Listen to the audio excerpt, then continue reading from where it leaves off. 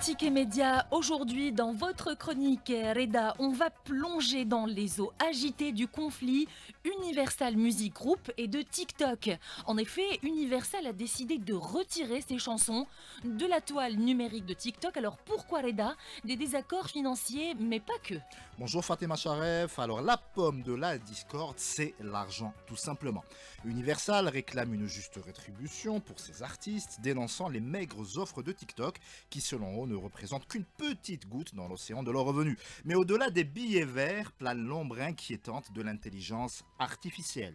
Universal craint que l'essor des mélodies générées par ordinateur ne nuisent à ses artistes. On a pu voir ces derniers temps par exemple du du Mercury en train de chanter des génériques de séries télé ou de dessins animés par exemple. Alors que feront les usagers?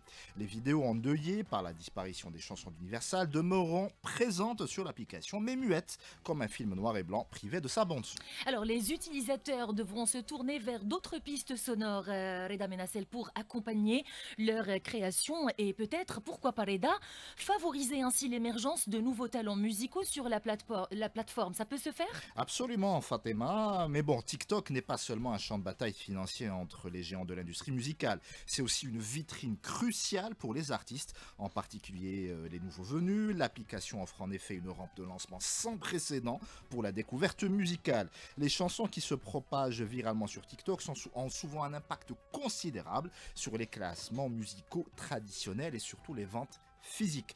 Pour les artistes émergents, c'est donc une opportunité inestimable de se faire connaître auprès d'un public mondial. Pour ceux qui sont mieux établis, ça représente quand même une perte financière certaine.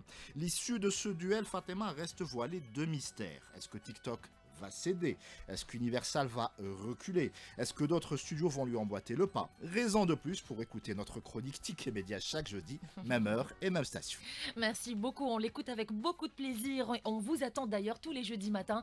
On vous attend les dames et la même ce soir, juste après le journal de 17h, de 17 à 19h dans votre magazine médiatique. À ce soir, Reda.